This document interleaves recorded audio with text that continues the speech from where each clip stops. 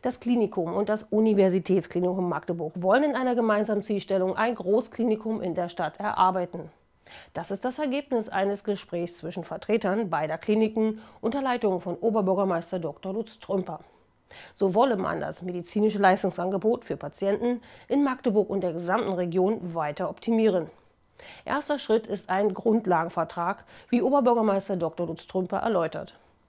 Zunächst wollen wir vertraglich unter anderem festschreiben, dass mittel- und langfristig bedeutende Entscheidungen beider Kliniken zuvor untereinander abgestimmt werden. Dazu zählen zum Beispiel größere Investitionen und personelle Veränderungen auf wichtigen Positionen. Ziel ist es, spätere Doppelstrukturen zu vermeiden. Ein Stellenabbau ist nicht geplant. Niemand muss um seinen Arbeitsplatz fürchten. In einem zweiten Schritt wollen beide Kliniken einen Projektplan erarbeiten. Dies mit einer gemeinsamen Arbeitsgruppe. Ein externes Unternehmen soll den Prozess begleiten. Ende des vergangenen Jahres hatte der Stadtrat beschlossen, entsprechende Gespräche mit dem Universitätsklinikum aufzunehmen.